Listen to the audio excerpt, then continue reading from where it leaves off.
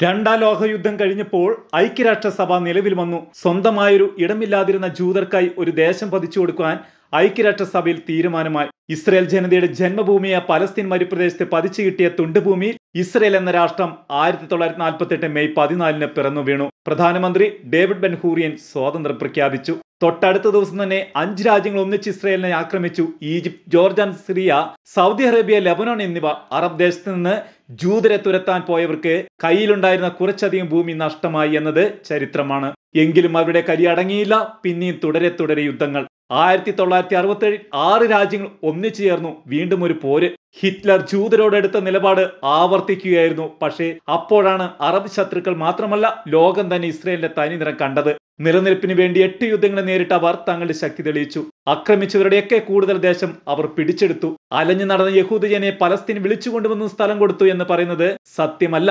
ആയിരത്തി തൊള്ളായിരത്തി നാൽപ്പത്തി എട്ടിൽ ഇസ്രയേൽ ജനിക്കുമ്പോൾ പലസ്തീൻ എന്നൊരു രാജ്യമേ ഉണ്ടായിരുന്നില്ല. ആയിരത്തി തൊള്ളായിരത്തി എൺപത്തെട്ട് നവംബർ പതിനഞ്ചിനാണ് പലസ്തീൻ എന്നൊരു സ്വതന്ത്ര രാഷ്ട്രം പിറക്കുന്നത്. സ്വന്തം നാട്ടിൽ നിന്ന് ശത്രുക്കളാൽ തുരത്തപ്പെട്ട് പത്തൊൻപത് നൂറ്റാണ്ടുകാലം അഭയാർത്ഥികളും പ്രവാസികളും ചിതറിക്കിടന്ന യഹൂദ ജനതയ്ക്ക് ലോകരാഷ്ട്രങ്ങളെ സന്മനസ്സുകൊണ്ട് അവരുടെ പിതൃദേശത്ത് ഒരു സ്ഥലം പതിച്ചു കിട്ടി തിരിച്ചെത്തിയതാണ്. അപ്പോൾ ആകെയുള്ള ജനസംഖ്യയിൽ പകുതിയും നാസി ഭീകൃതിയിൽ കൊല്ലപ്പെട്ടിരുന്നു.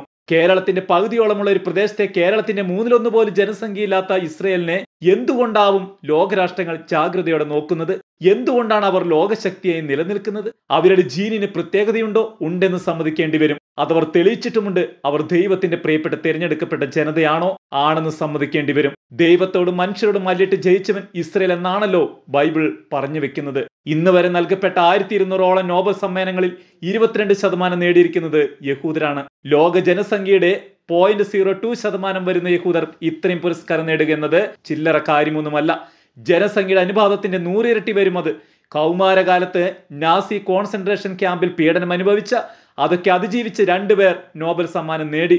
റൊമേനിയക്കാരൻ ഈലി വിസൽ ആയിരത്തി തൊള്ളായിരത്തി എൺപത്തി ആറിൽ സമാധാനത്തിന് ഹംഗറിക്കാരൻ ഇമ്രി കെർട്ടീസ് രണ്ടായിരത്തി ആറിൽ സാഹിത്യത്തിനും. ഒരു കൂട്ടം ഭീമൻ ശത്രുക്കളുടെ പിടിച്ചു നിൽക്കുവാനുള്ള അവരുടെ ശ്രമത്തെയാണ് ഇസ്രയേലിന്റെ തീവ്രവാദം എന്ന് പലരും കുറ്റപ്പെടുത്തുന്നത്. യഥാർത്ഥത്തിൽ തീവ്രവാദത്തെ ഇല്ലാതാക്കാനാണ് അവർ പൊരുതുന്നത്. അറബ് ഇസ്ലാമിക തീവ്രവാദത്തോട് ഒറ്റയ്ക്ക് പൊരുതിയാണ് ഇസ്രയേൽ തലപൊക്കി നിൽക്കുന്നത്. അറബ് രാഷ്ട്രങ്ങൾ ആയുധം താഴെ വെച്ചാൽ ഭീകരവാദം ഇല്ലാതാകും എന്നാൽ ഇസ്രയേൽ ആയുധം താഴെ വെച്ചാൽ ഈ രാജ്യം ഇല്ലാതാകും എന്ന് ഇസ്രയേൽ പ്രധാനമന്ത്രി ബെഞ്ചമിൻ നെതന്യാഹ്യു പറഞ്ഞതല്ലേ സത്യമായിരിക്കുന്നത്? ഓരോരുത്തർ തങ്ങളുടെ ചിന്തയ്ക്കും ഇഷ്ടത്തിനും വിശ്വാസത്തിനും അനുസരിച്ചാണല്ലോ തീവ്രവാദത്തെ നിർവചിക്കുന്നത്. ദൈവത്തെ വിളിച്ചുകൊണ്ട് കുഞ്ഞുങ്ങളുടെ പോലും കഴുത്ത് വെട്ടുന്നതും ദുർബലനെ വെട്ടിക്കൊല്ലുന്നതും ഈശ്വര വിശ്വാസമാണോ മത തീവ്രവാദമാണോ എന്ന് ആലോചിച്ചിട്ട് ഒരു പിടിയും കിട്ടുന്നില്ല. For Israel it is a question of survival and existence for Palestine and other Arab countries serum it is just a matter of envy and hated motive is the same that Hitler had.